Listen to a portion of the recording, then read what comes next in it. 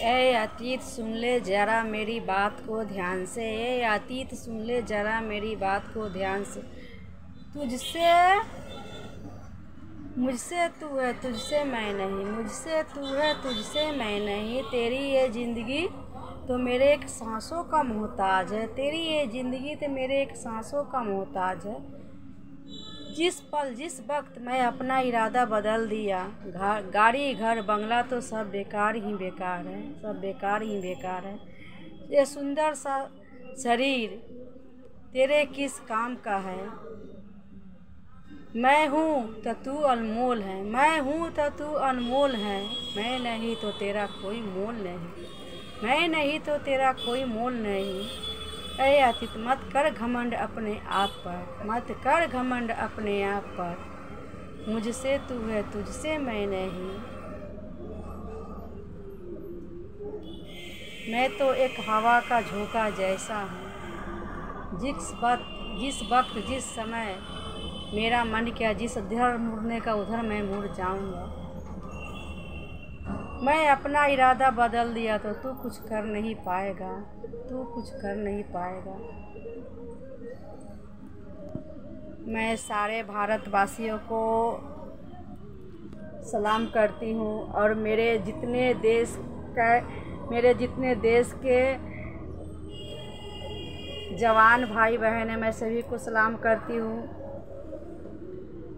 और मम्मी सरिता किचन के तरफ़ से मेरे जितने बॉर्डर पर भाई बहन हैं, मैं सभी को सलाम करती हूँ। और क्या मैं बोलूँ? मेरे देश के जितने सैनिक भाई बहन हैं, वो सबके दे, सबको सब देश के आन बान और शान है, मैं सभी को सलाम करती हूँ। और हम लोग को अपने असल हीरो को नहीं भूलना चाहिए, क्योंकि सैनिक भाई बहन ही मेरे असल हीरो हैं। उनसे ही हम लोग सब सुरक्षित हैं। वो अगर नहीं हम लोग को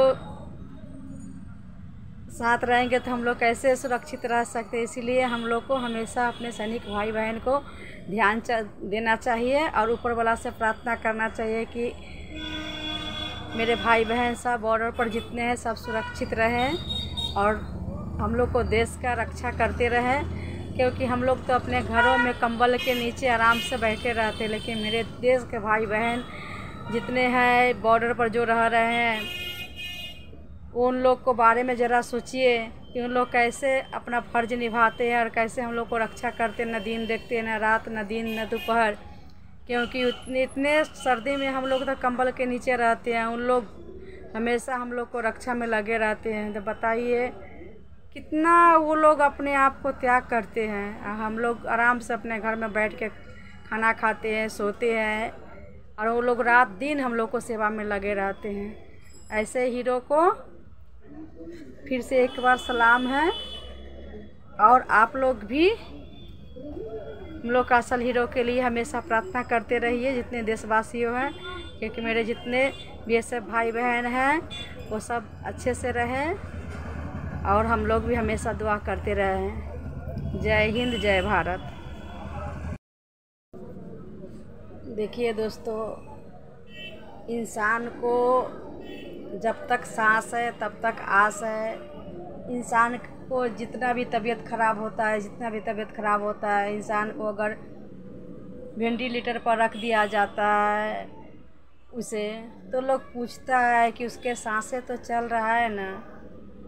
उसका सांस अभी है ना, जितना भी इंसान जैसा भी रहे, लेकिन अगर शरीर में अगर हार भी बच्चा है, अगर सांस है तो इंसान को, हर इंसान को आस रहता है। तो इसीलिए इंसान को सोचना चाहिए, समझना चाहिए कि हम लोग का जितना भी सुंदर से सुंदर शरीर है, जितना भी शरीर है, जैसा भी है, जितना भी रुपया, धन, दौलत है तो एक सांस का ही तो मोहताज है। हम लोग तो एक सांस के लिए ही इतना, अगर ये सांस नहीं है तो इस शरीर का कोई मोल नहीं है। सांस निकल गया तो तुरंत इंसान शमशान तक पहुँचा देता है कि जल्दी लेके चलो, जल्दी लेके चलो। अब इसका, ये तो मर गया है। तो इसीलिए इंसान को सोचना चाहिए, घमंड नहीं करना चाहिए कभी भी कि ये मेरा है, ये चीज़ मेरा है।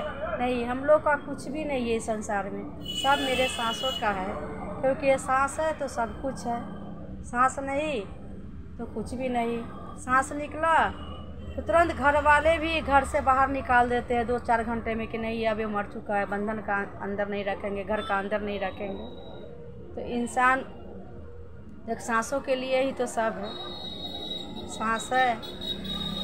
तो सब कुछ है। जब तक सांस है, तब तक बोलते हैं, ये मेरा है, ये मेरा है, ये घर मेरा है गाड़ी मेरा है बंगला है ज़मीन है जायदाद है, ये मेरा माँ है बाप है, सब है। लेकिन वो चार कंधा वाला डोली पर सबको जाना है। सबको। चार चक्का पर इंसान चढ़ता है, ज़िंदा में भी आराम से घूमता है, दुनिया का सैर करता है या प्लेन में चढ़ता है, लेकिन जब इंसान को प्राण निकलता है या सांस निकलता है तो चार कंधा के डोली पर चढ़ के शमशान तक जाता है। दुनिया को सैर तो हम लोग करते हैं, लेकिन मरने के बाद भी शमशान का सैर हम लोग को करना ही पड़ता है दोस्तों। इसीलिए मैं वो, उसे चुटकुला बोलिए, कविता बोलिए, जो भी बोलिए, मेरा मन में आया तो मैं बोल बोल दी। और आप लोग को बुरा लगा होगा तो इसके लिए सॉरी और ये हर इंसान को ज़िंदगी में घटना घटेगा ही। और जो जन्म लिया है, उसको जाना ही है। कोई वक्त से पहले। देखिए दोस्तों, बोलना नहीं चाहिए। पहले का लोग सौ साल जीते थे, कोई एक सौ दस साल, सौ साल से ऊपर ही जीते थे। लेकिन जैसे जैसे इंसान को घमंड बढ़ते गया, हर चीज़ का अहंकार होने लगा। तो सांस भी हम लोग का साथ छोड़ने लगा, क्यों छोड़ने लगा? देखिए, कोई इंसान पहले सौ साल जीता था, कोई एक सौ दस साल जीता था। अभी क्या है कि अस्सी साल हुआ, अस्सी से साठ साल हुआ, साठ से पचपन, पचास, चालीस, ऐसे अब हो रहा है। क्योंकि हम लोग अपने आप पर इतना ना घमंड करने लगे कि हम लोग का सांस भी साथ छोड़ने लगा कि नहीं। अब ऐसे शरीर में हम लोग को बास नहीं करना है। तो बताइए दोस्तों, आप लोग एक बार सोच कर देखिए कितने जवान लोग चले जाते हैं अच्छे अच्छे लोग चले जाते हैं। क्या है गलती? कितना सुंदर इंसान रहता है देखने में। तुरंत क्योंकि वो हर इंसान दुआ करता है कि हे भगवान, उसको सांस लौटा दो, उसका सांस लौटा दो। तो हम लोग का ज़िंदगी तो एक सांस का ही मोहताज है आप लोग सोचिए, समझिए। और मेरा बात को बुरा लगा होगा तो मैं फिर से बात, सॉरी बोलती हूँ बार बार कहती हूँ सॉरी। और आप लोग कमेंट कीजिए कि मेरा बात कैसा लगा और लाइक, शेयर, सब्सक्राइब कीजिए। और फिर से बोल रहे हैं कि मेरे असल हीरो को मत भूलिए। और जितने बॉर्डर पर मेरे भाई बहन हैं, वो सबके लिए दुआ कीजिए। भगवान से प्रार्थना कीजिए, ईश्वर से प्रार्थना कीजिए हे ईश्वर, जितने मेरे बी एस भाई बहन हैं, सबको अच्छा से रखे, सबको सुरक्षित रखे।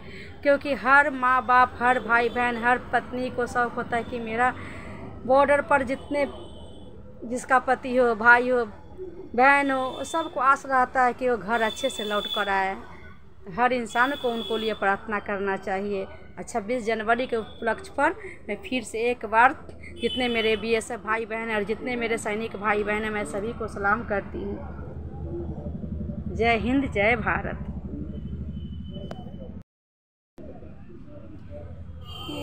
मेरे बतन के लोगों, जरा कि में भर शहीद हुए हैं उनको। जरा याद करो कुर्बानी। जरा याद करो